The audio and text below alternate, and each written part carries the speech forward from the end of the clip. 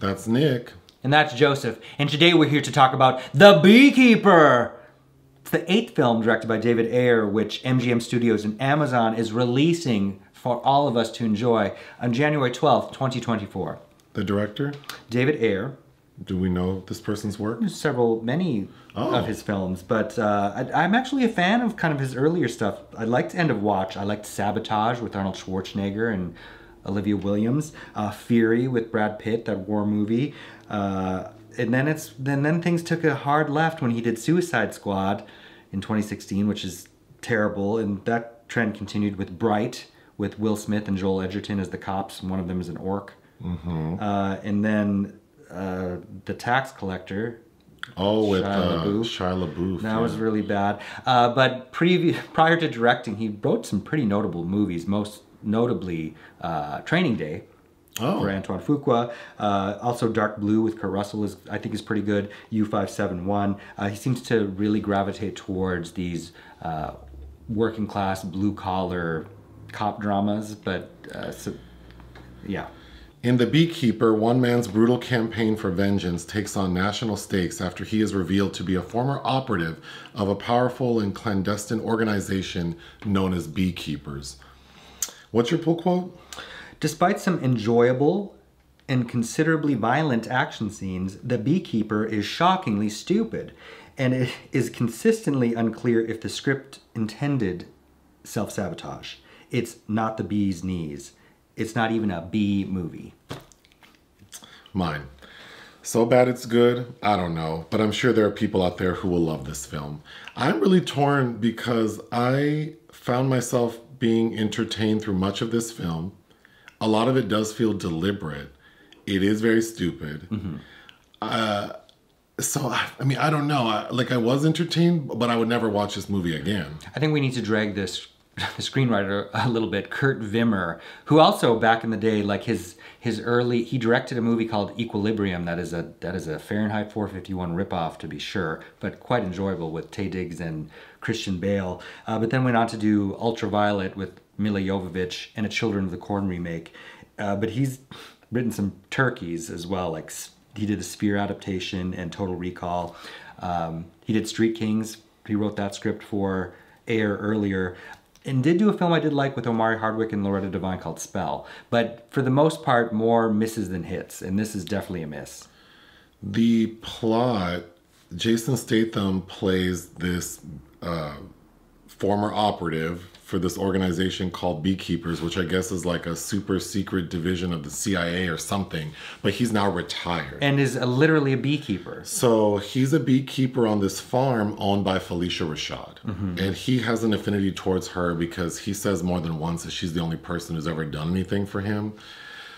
So we see that one day Phylicia Rashad is at her laptop and she gets this like fraud alert saying call this number.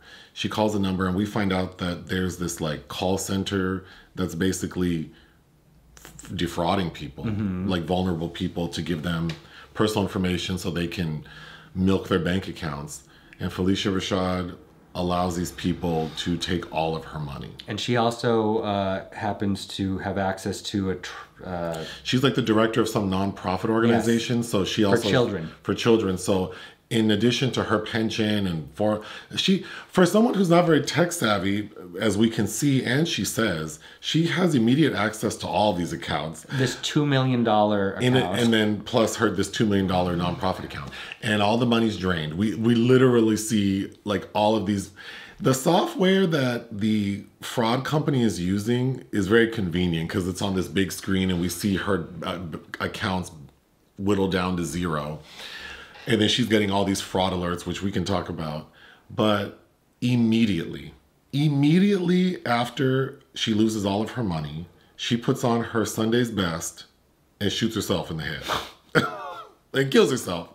it's not funny, but it's like uh, Well, I mean, I think that's part of the issue is like, this is so stupid, and I do like that, but I think the premise of this woman, I don't know why Phylicia Rashad thought this was a role for her, but luckily, her daughter is an FBI agent. luckily Agent Verona Parker, played by Emmy Raver Lampman. I hated this character. That's a bad. It's I don't know which one I hated more. This character, or the one Ruth Negga played in Good Grief. Oh, she was so annoying. So Phylicia Rashad's daughter is this FBI agent who we're told is sort of estranged from her mom, but happens to be there on the day she we, kills we get herself. all these contradictory Yes. details. And she decides that she's going to figure out who it is. But initially, she confronts Jason Statham because here's this random man in her mom's house. Mm-hmm. And he takes it with stride because he knows he didn't do anything. With a jar of honey. And he's also too cool for school. So he just takes everything in stride. And she's ultimately convinced that he had nothing to do with it and that her mother was defrauded and that's why she killed herself. So Jason Statham decides to go on a rampage to take out who who's responsible. And we find out the person at the top of this food chain is the president of the United States, Madam President. Played by Jemma Redgrave, part of the Redgrave family, Vanessa, Un- Vanessa's niece. unbeknownst to her, her family business, which in part is being run by her son, played by Josh Hutcherson, mm-hmm. he is the one running these like data mining companies that are actually defrauding the vulnerable. Mm-hmm. And she somehow has no idea. In fact, she has hired Jeremy Irons, who's the ex CIA director, to mm-hmm. basically babysit her son. Wallace. And he also seems to be ignorant about what Hutcherson is up to. Right. So Jason Statham kills everybody and gets all the way to the president's house. Well, And- not the house. They're in Boston.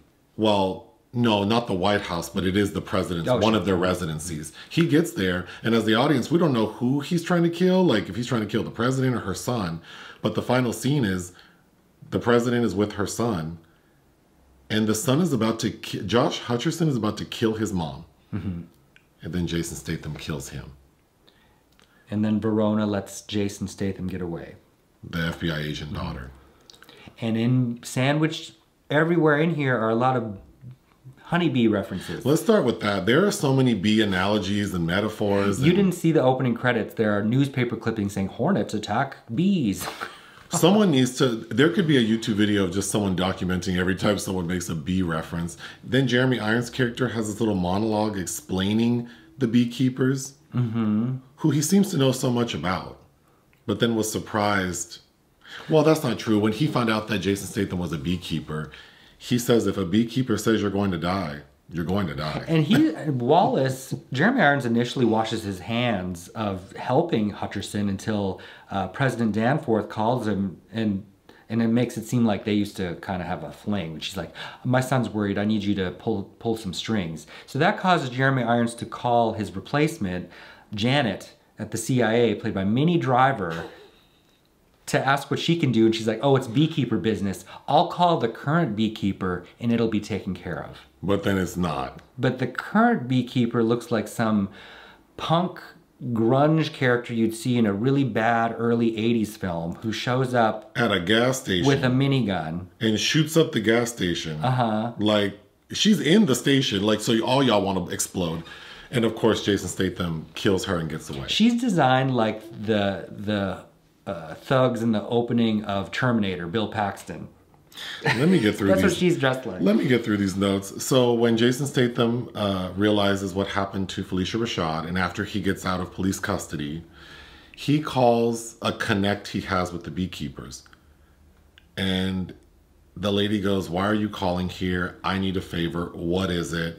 I need to figure out who some people are." And she's like, "Okay, well, who is it?" And Jason Statham goes, "Well, Here's a phone number.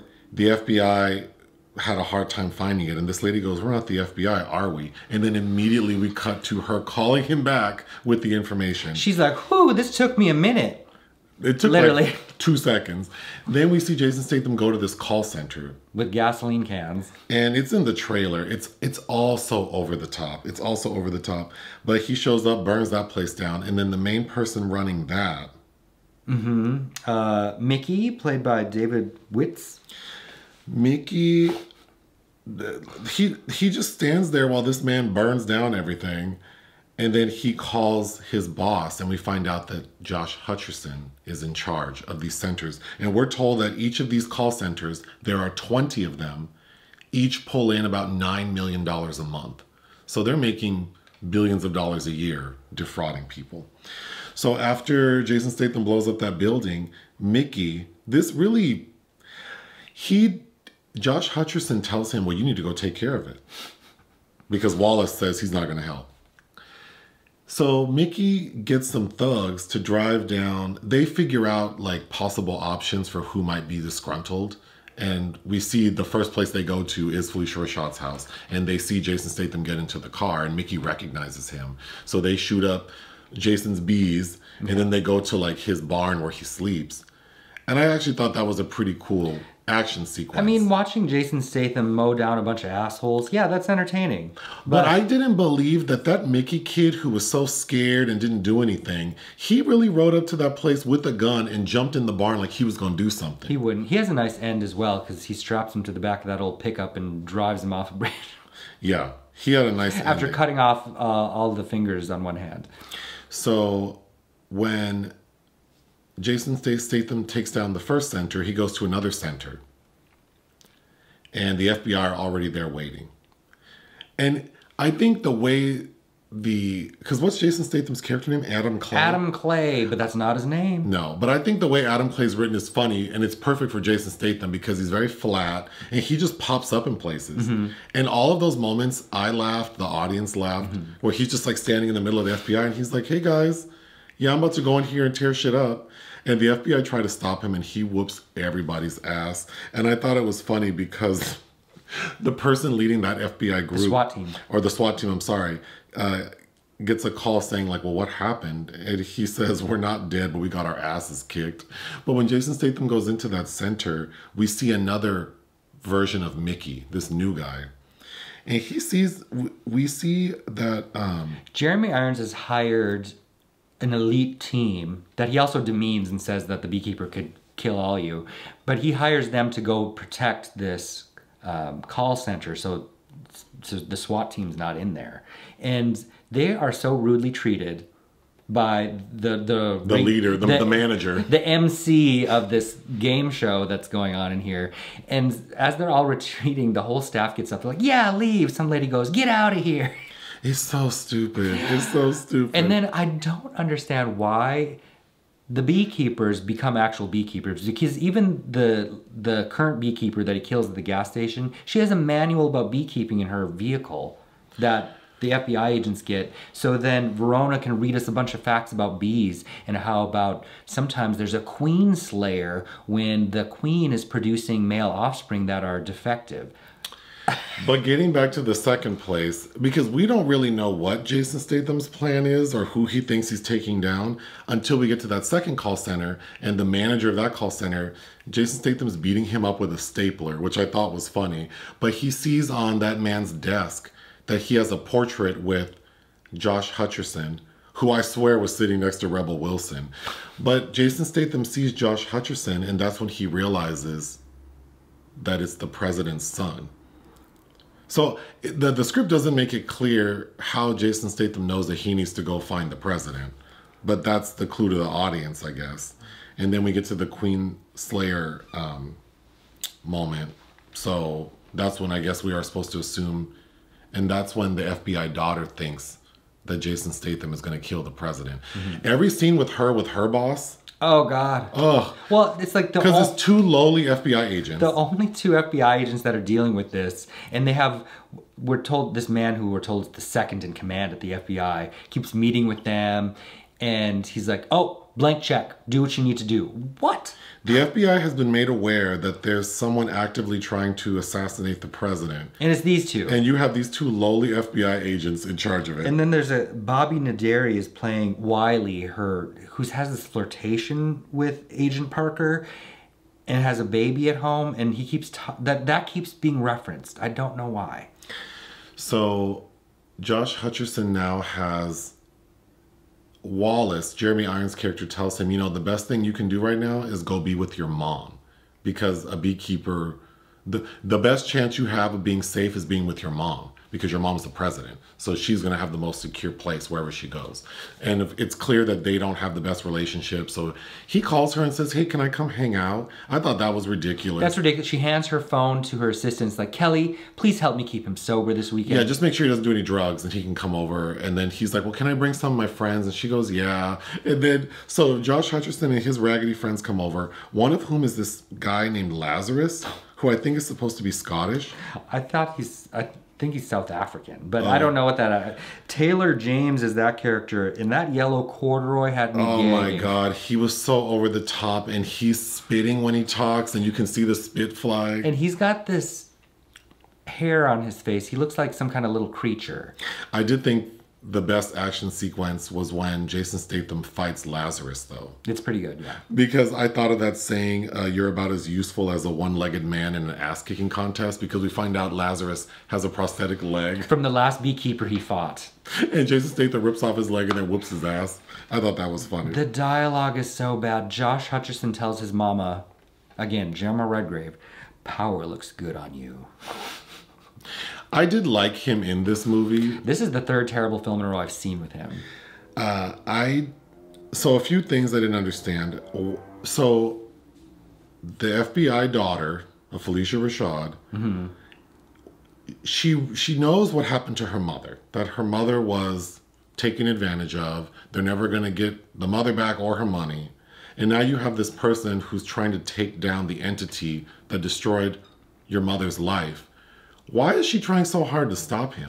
I don't know. She's about see. I, she's kind of like the Ethan Hawke character to me in Training Day, where it's like you're doing some really dumb things that aren't related to self-preservation. The reason I would give this, I don't know. I, I, I feel like I'm going to say this movie's a thumbs down for me because of that character. I don't understand why she. I feel like I needed to better understand why she's trying to stop him. She should have been cut out entirely so we could give Phylicia Rashad a little more screenplay. Screen We don't time. even need the daughter. We don't need the daughter, at all. but we we could have used a few more, you know, s- scenes of connection between these people and why he cares so much for this woman that he would do all this.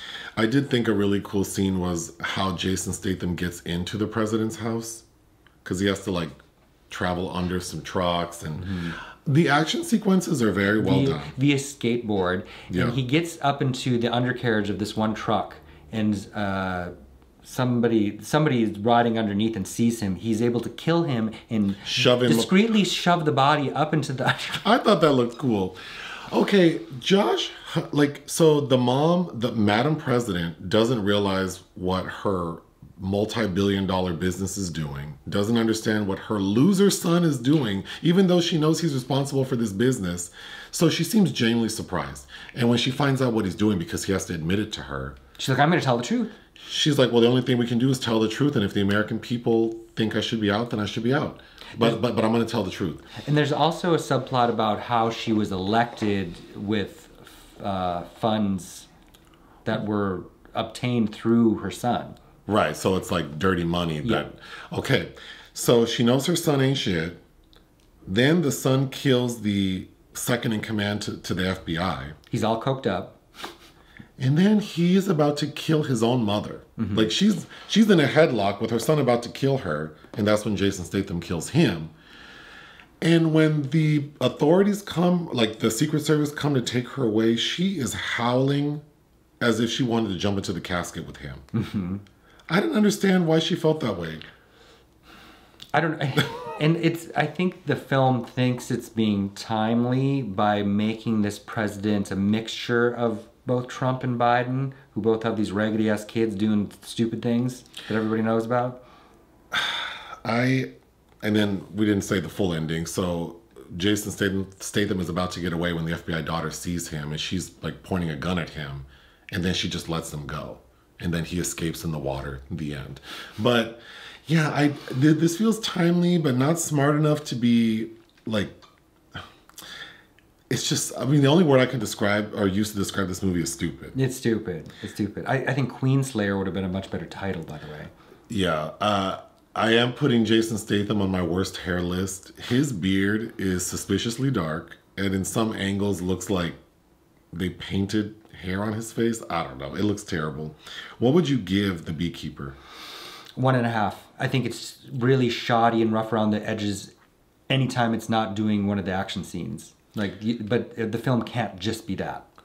I'm giving it two and a half out of five. I thought it was fine for like a single viewing, and I'm sure people are going to love this movie. So, and I, and I can see why. Uh, anything else? No.